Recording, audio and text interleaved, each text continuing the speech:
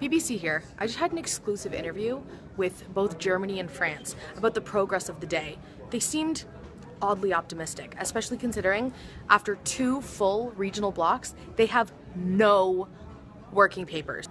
So uh, right now, we in Europe we're lacking uh, listening and collaboration. We they are very on the defensive and don't really want to listen. Um, they've been tossing around ideas back and forth, but there seems to be no cohesive argument. There seems to be no cohesive direction that the group is going for. So I don't know what they're going to bring to plenary.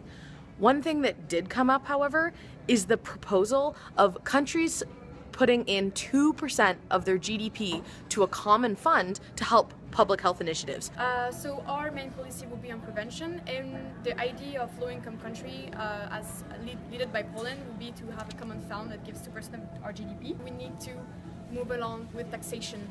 France thinks it's a really good idea, a really um, efficient way to get funded and have this money accessible to all European countries. 2%? Are we kidding? 2% of France alone, their GDP, is almost $20 billion per year. That's just to this one fund. How does that leave enough money for the rest of the country to function? I don't know what they're going to do with this, but we'll have to see. It's a bit of a mess right now.